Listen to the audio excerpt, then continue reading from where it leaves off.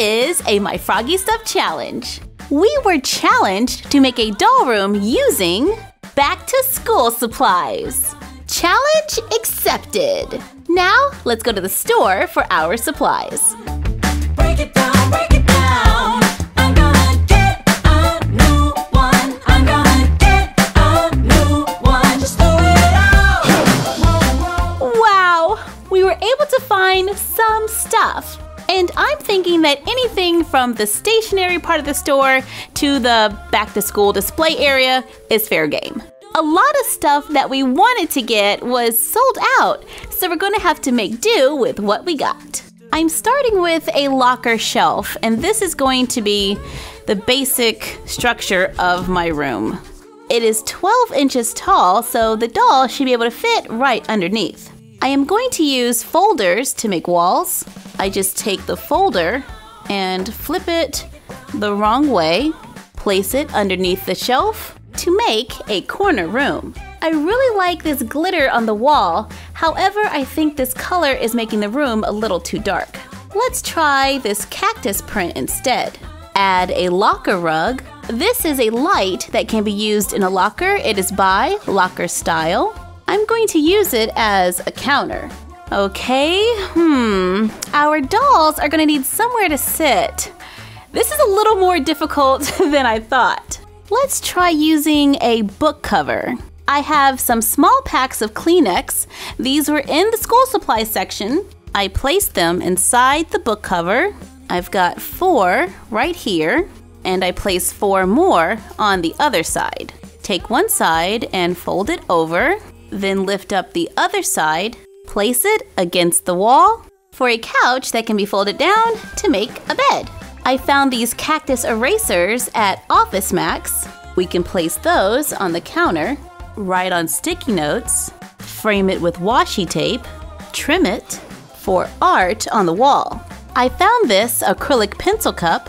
I flip it over so it's upside down to use as a table. Our couch is a little low, so we're going to add some more Kleenex to the bottom to raise it up higher. I found these paper clips at Michael's. I thought they were kind of cute because they look like diamonds. I pull the back of the paper clip up slightly so it can stand up, making a cute little decoration. At Target, we found these adorable magnets. I'm going to attach it to the wall by using a paper clip on the other side of the folder. I put it on some post-it note art to help it stand out. Since it's a magnet, the paper clip helps it to stay on the wall without any glue, giving our dolls a cozy place to hang out. Turn it into a loft by adding another locker rug to the top, place a book inside of another book cover, place it on top for a mattress. I cut a little piece off the end of the book cover to make a pocket to hold two tissues, use tape to secure the ends, to make a pillow for the bed.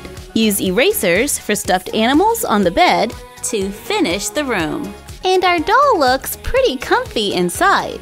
Maybe she would like an eraser coffee so she can do a lot of studying in her new school supplies room. And I think it's pretty cool that almost everything can still be used as school supplies because we didn't really alter anything. Well, except for that one book cover that I cut to make the bed. But other than that, everything is still usable. And if we want to change our wallpaper, we just have to change the folder for a whole new look. Now we challenge you to make your own school supplies room.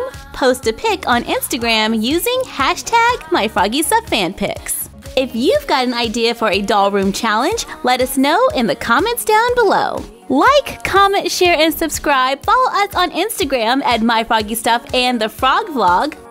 And you're done. Happy crafting!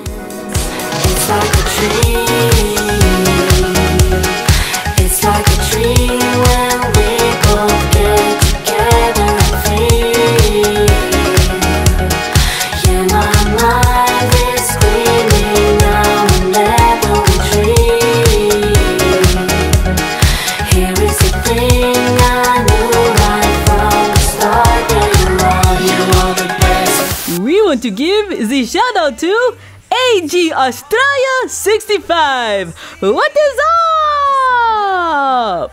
Welcome to World's Tiniest Living Spaces! I am your host, Naveen! Welcome to my home. Not you!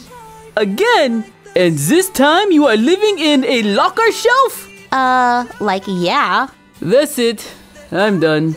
Wait, don't you want a tour?